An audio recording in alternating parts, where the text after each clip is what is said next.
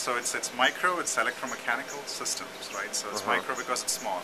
A micron is a thousandth of a millimeter. Electromechanical because these are moving parts which are run electrically, like a motor is a moving part which Gotcha. moves mechanically but it's powered electrically. We take MEMS and we apply it to make switches. For example, a, a chip here, it's actually just a package, it's got four little silicon chips on it.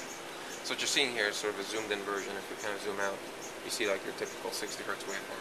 But because the MEMS devices act so quickly, we have to really get in there and uh, take a look at the, the microsecond level events. We'll take a look at what going on. So from each, from each one of these dotted lines to the next one, it's 200 microseconds, and the entire event, the entire switching event happened in about half of that, about 100 microseconds. The world around you is mechanical, elect- chemical, Right. biological.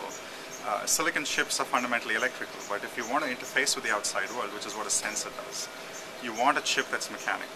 Essentially, I mean, to summarize, right, anything electrical has got to have a lot of switches because switches control how the power goes. So this is a very fundamental innovation which, which, which would touch upon essentially any high power electrical system.